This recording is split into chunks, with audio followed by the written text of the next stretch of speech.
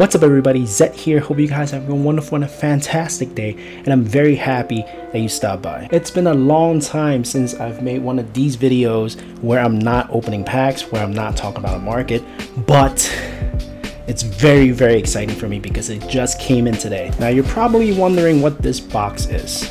Let me give you a little bit of story. In 2020, there's a huge influx of interest in the hobby, in the card market that everybody was sending the cards into PSA, Professional Sports Authenticator, to get their cards graded, to get a premium, and to cash in on this market hype. I gotta say, I'm one of those people myself. I send in cards to get graded, hopefully to get some good grades and probably cash in a little. But at the end of the day, I'm still very much a collector first than a seller second. I don't even much really sell cards. So I'm very excited to say that my submission from November 2020 has made it back into my doorstep today at 2022. To be a little bit honest, a little bit pretext, I kind of forgot what cards I got in there, but there are three cards, three big hitters that I really, really want good grades on. Let's keep our fingers crossed and hope that we get some good grades. Without further ado, let's break into the box. Got my little trusty scissors here. I'm very excited. I'm, I'm like shaking. All right, that was a little bit tough to open, but we got it open. Uh-oh i hope i hope it looks good. So a little bit more pretext i sent my cards to get graded on november 2020 uh, through a bulk or middleman service called graded gems. Now they've been very very helpful. They send me updates at like the end of 2020 no at the middle of 2021 and I've been getting updates that these were in research and ID, research and ID, research and ID, and they finally got graded, got stuck in grading for like six months, and finally they came through. All right, this box is lighter than this box. This uh, this box is really heavy, so I don't know which is which, but let's let's open this one first. I'm super excited. This looks promising. All right slabs are wrapped. All right, I see some Pokemon. If I remember the story of each card, I'm gonna talk about it. But if I don't, I'm gonna give a little backstory. If I don't, I'll probably be like, I don't remember when I bought it. All right, so let's do this. We'll do the tacky way. Uh, block out the block off the top of the card and then flip it and guess the grade. I'll give you guys a chance to guess that grade. This on the back looks pretty messed up right here. I don't even know what it is, but this is the 5 million number. We're like well into the miss the mid 6 million. I'm nervous. Oh, it's a Tyranitar. I got this at uh, Facebook Marketplace for like $25 because I was trying to get um, e-reader cards. I, I thought these e-readers are pretty cool. I was trying to get into some of these cards. Let's guess what this grade is. This card looks pretty pretty minty. The back looks, there's a nick right here, I could already tell. I'm not sure if the, the back was already like this. Tyranitar from Aquapolis, reverse hollow. Here we go. A seven. Yeah, I didn't really imagine it was gonna be that good a grade. I actually forgot that I bought this card, but it's still pretty cool. $25 for a PSA 7. Um, I'm gonna give you the math of the grading probably like under if I remember to talk about it at the end. But I don't want to talk too much about it. It's Tyranitar Reverse Hollow. It looks pretty nice. I'm very glad I got a decent grade for a pretty cheap card. Alright, what is this? What is this? Oh, I forgot to send this in. This is part of the collection that my fiance sent me. My wife now, actually. That's how long it took. This is part of a collection that my fiance found in her collection box. She said, hey, I got these Pokemon cards uh, why don't you just take a look or even take it? I was like, cool, I'll, I, I, love, I would love it. so this card doesn't look that good. You see corners here. The back looks pretty clean. Front looks alright. There, I feel like I, I see some scratches, but it's a first edition. I'm guessing it's a five, probably four. Whoa, it's a six. Wow, okay.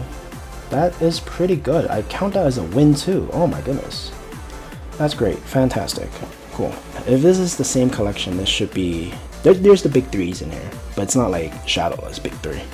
Oh, it's a regular Alakazam. There's scratches on here. This is definitely a four. Like, it was pretty beat. All right, let's let's flip. Oh, it's a five. What is going on? I'll take fives. I've had conditions similar like this that got a four. Maybe I got a good grade there. All right, this already in the back looks pretty good. No, this is Espeon. Okay, so a little backstory on this. I cracked this on a Hidden Fates 10 like two years before 2020. So 2018, I got a grade at BGS. I got it came back a nine. So I thought, you know, let's see if I could get it a good grade.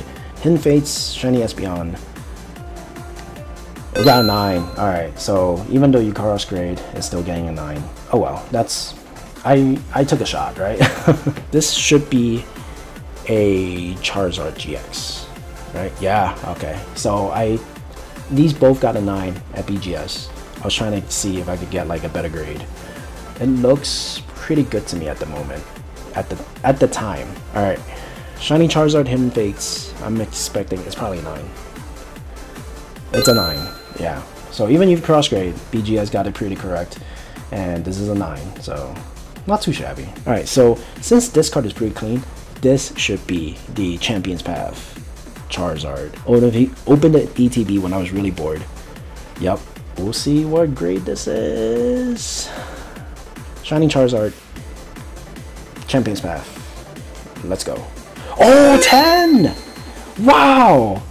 First 10, only 10. That's that's delicious. Oh my gosh. Whoa. That's pretty cool. Too bad I got I got impatient and bought a slab. This is gorgeous. Wow, a 10. That's awesome.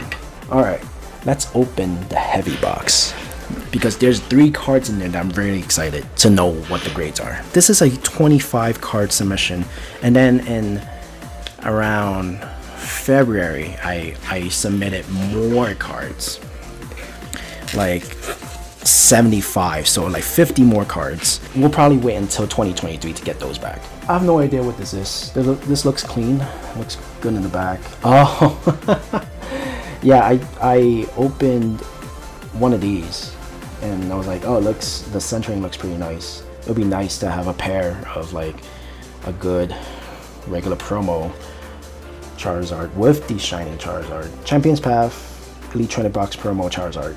On the conservative side, I'm gonna say a 9. It's a 10! Wow.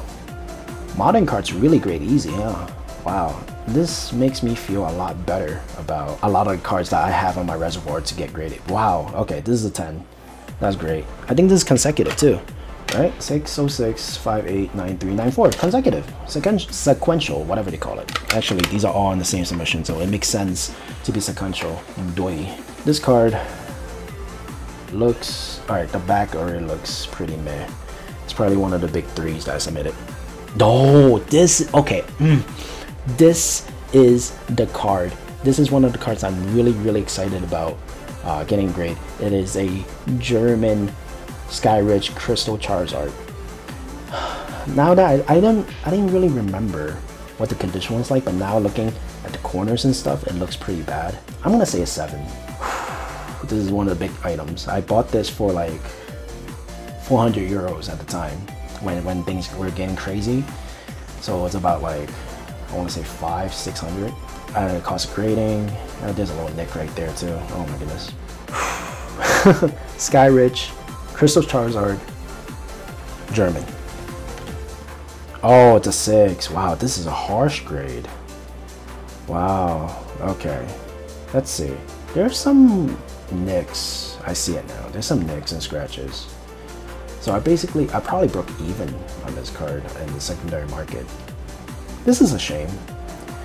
I was really hoping that this card would kind of like a 7 or 8, but a 6, that's okay. It's still a Crystal Charizard, you know? It was really harsh. Like, this was down to 6, but it has scratches on the surface. There's some scratches. There, there are some scratches on this card, I, I reckon. Yeah, you know what? The more I talk about it, the more I accept it. it it's a 6, whatever. This condition looks fine. I don't even know what it is. It's probably one of the big threes. Meaning the basic big, the base set big threes. No, I keep forgetting I bought cards before when the the market started booming. This is a Dark Charizard I bought in a collection lot on eBay for like, I want to say $70. It had like some tops cards and then I was like, oh, it's a, there's a Dark Charizard. You know, it'll be fun to, to buy this and get this graded. The back looks pretty good. Like, there's like a little nick here. I'm expecting like probably a 7 at least. Dark Charizard, Team Rocket, let's go. A 8? Spectacular. Okay, this is a really good grade. This is a fantastic grade. An 8? I'm expecting like a 7. Because the centering is good. The edges and corners are not. The surface I think is fantastic, so I guess that's what gave it a little bit more grade. I'm guessing the edges and the corners were what docked the points. So this is good. This is great. I count this as a win. I bought this for $70. I think I know what, which card this is. This is in the collection. There was a Shining Charizard from Neo Destiny. Or Neo Revelations. One of the Neo sets, sorry. So I think this is it because I can see the corners and stuff. Is this it? Yeah, it is. Alright. Is this gonna match the one that I found on the streets many, many years ago? Is this gonna be a PSA 4? Shining Charizard, Neo Destiny, Neo Revelations, Neo Set. Let's go. Wow! a fair 1.5. I heard that grades like these actually fetch a premium, but 0.5s are really hard to get any premium.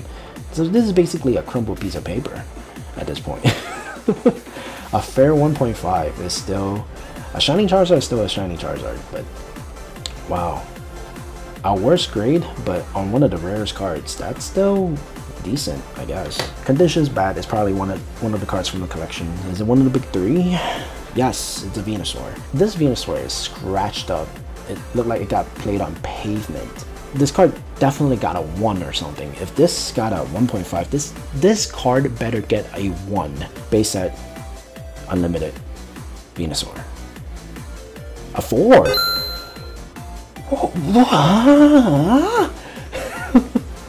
a 4? Okay, so let me get this straight. There's silvering, centerings or whatever. There's silvering, there's edge wear, there's corner wear, and you're telling me this gets a 4, but this get creases and it's a 1.5? I have a similar Shining Charizard first edition that is like similar to this condition, and that was a 4. And this is a 4? Not complaining. This is not discuss how they're grading time. This is reveal of my PSA submission time. This is probably one of the Charizards, right? No, this is a Blastoise. This better to get like a 2 or something. At that time, I was like, base set, one of the big threes, just throw it into submission because it was so cheap to submit. It was like a quarter of what it costs to, to submit now. Base set, base set Blastoise, unlimited. It's a three. Okay. Okay, so this is a three. One, three, four. I'm not even gonna contest it. Alright, next card. This should be the Charizard. Yes. This is the base set Unlimited Charizard. It's slightly more, it's better condition than both the Venusaur. Actually, it's probably the same condition as the Venusaur, but better condition than the Blastoise. That back looks awful. Alright, base set, Charizard, Unlimited. A 4, yep, I was about to say. It looks very much like the Venusaur. It's probably going to get the same grade as the Venusaur, and it did. So, it's pretty cool. I never realized how much Charizards I actually submitted until I'm looking at it at, at this angle right here. This should be another Charizard and the back looks alright. Looks looks alright. Yes, it is. Front scratch. Same thing with dots. Alright, let's go. Charizard base set unlimited. Grade is the five. Wow. Spectacular. Okay. Is it because this one has a blatant print line like right here and this one doesn't? Whatever, it's a win. One grade higher. That's cool. Wow, I should just use this as like my, my header picture, huh? Just to, to reel people in to watch. Alright, these, these two cards, these three cards, these four cards. All right, all these cards. I don't know which is which yet. Let me see. I think these, the rest of these are Yu-Gi-Oh! And two of them are what I'm really excited about. There's a lot of the there's a lot of it is just the same card and I'm assuming is this. No! Okay, okay, okay, okay, okay. Alright, this is one of the most excited cards. This is one of the cards that I was anticipating the most. Like when I bought this card as a pair, it was the Blackluster Soldier and the Chaos Emperor Dragon, which I believe it is this card. I so desperately want this card to be a PSA 10. There's so much childhood memories when it comes to this card. There's so much nostalgia when it comes to this card and me personally because I cracked this card like three times when it was still Invasion of Chaos uh, in the first edition set. And when it came out with the collector's rare, I, I, I just know I have to buy it and try to get it graded. This is, this is it. I really, really hope that this is a 10. Come on. Come on, Yugi. Please, Yugi, Yugi! Alright. Blackluster Soldier, Envoy of the Beginning. Toon Chaos. Oh, it's a 9. Damn. I don't really use that word often, but I kind of... Um, this one hurts. I really wanted this to be a 10. But it looks so gorgeous. I'm, I'm probably still gonna keep it. Yeah, I think the centering is what gave it away. And I took a shot. I took a really big shot, but it didn't come back through. That's okay. This is one of the big threes. I hope the Chaos Emperor Dragon got a 10. If this is correct, this should be the Chaos Emperor Dragon. Yes. Yes, it is. I like this card too. Didn't really have that much fond memories because I didn't open any. I opened that stupid level 8 that negates the effects of quick play spell cards. It was like Doctor Doom or like Invader of Chaos or something. Chaos Emperor Dragon, Envoy of the End, Toon Chaos. This is. I knew. In the back of my mind, I knew this was gonna get 10. Wow, this is gorgeous. I'm definitely keeping it. I'll try to probably get a 10 to match this 10. It would have been so good if they're sequential and they're both 10s, but oh well. Now, all these all these, there's like one, two, three, four, five, six, seven, eight, nine. These all should be the same card. It is the Dark Magician Girl Lost Art from the 2020 version. This card was so popular that Konami decided to give everybody a second chance to get the card um, in 2021. So there's a 2020 version and 2021. I bought like 10 of these. One of them came damaged and now I have nine of these. Nine shots to get a 10 so all right here we go. Dark magician girl lost art collection. That's a nine. Yeah it didn't look that good because i'm looking through the light here. Did not look that great got eight more shots to go let's just blow through all these all right dark magician girl lost art promotion an eight wow this is even worse than that that is awful. I see lines, I guess. Another 8. Wow, these are all awful. This is what happens when you gamble, guys. Dark Magician Girl lost on promotion. Oh, 10! 10! 10! 10! Yes, we actually hit one. 10! Yes! Mm. Yes, this is this is a win right here. Oh, this was a rough submission back, but this 10 fan freaking tastic. Oh my goodness. Finally, a 10. Alright, another one. Lost Art Promotion, Dark Magician Girl, yeah, yeah, yeah. A 9. Cool. Uh, listen, the moment I got that 10, huge rock lift off on my shoulders. I'm all good. I don't even care what these look like now. Dark Magician Girl, Lost Art Promotion. Another 10! Yes! Another 10! 10! yes! Alright. Mmm, fantastic. That's mm, chef's kiss right there. All right. Dark Magician Girl lost art promotion. A nine. Cool. We got like three, three nines. Got like one more after this one. Dark Magician Girl lost art promotion. A nine. Cool. All right. Last card of this submission. I thank you so very much for watching and I appreciate so much that you came through this channel no matter the means, if you came through for my PSA collection that I did like only once a year, if you do, if you come through for my pack openings, which I am opening Brilliant Stars, welcome. All right, here we go.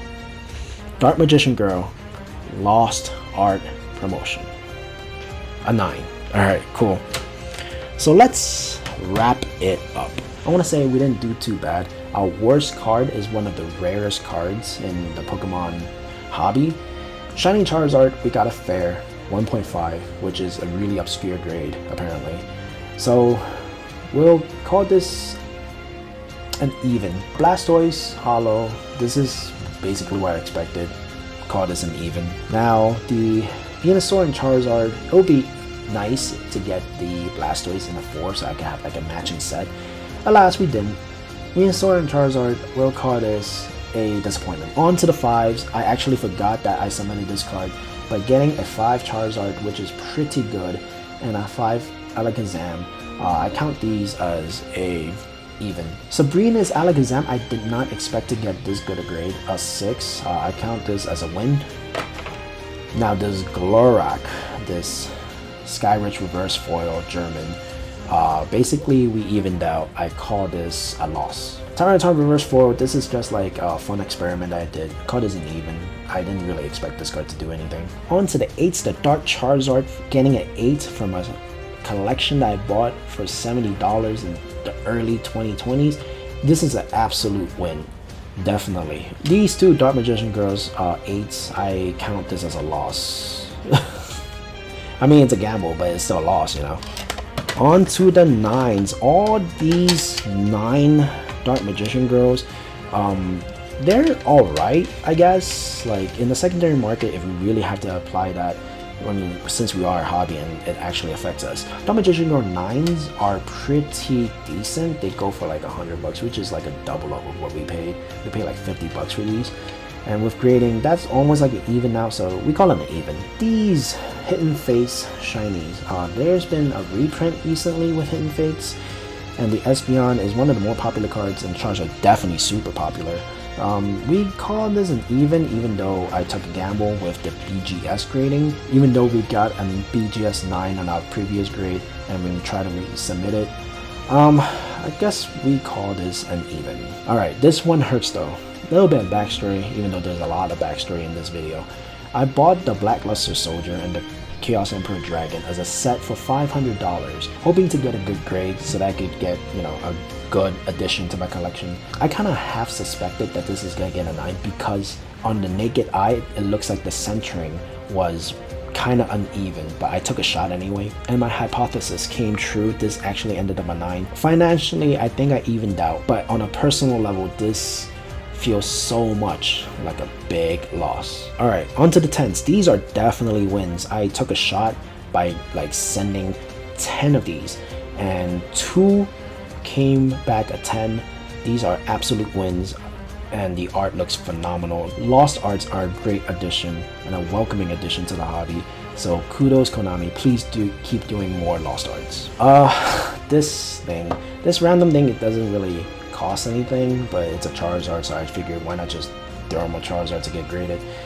A Elite Trainer Box promo is a 10. I call this an even. I'm not really excited about this. This though, I'm gonna attach a photo of when I actually opened the ETB and showed it to my friends. Like, hey, guess what I did when I was watching videos and I was really bored and opened the ETB. Getting a 10 on the card that I actually opened, that feeling feels fantastic. Uh, this feels like an absolute win, definitely win. And this is the other half with the $500, uh, not a really collection, but a $500 lot that I paid. this feels good. Getting 10 on one of them definitely feels good, but not getting 10 on both of them really hurts.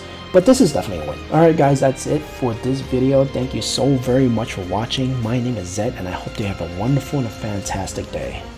Thank you.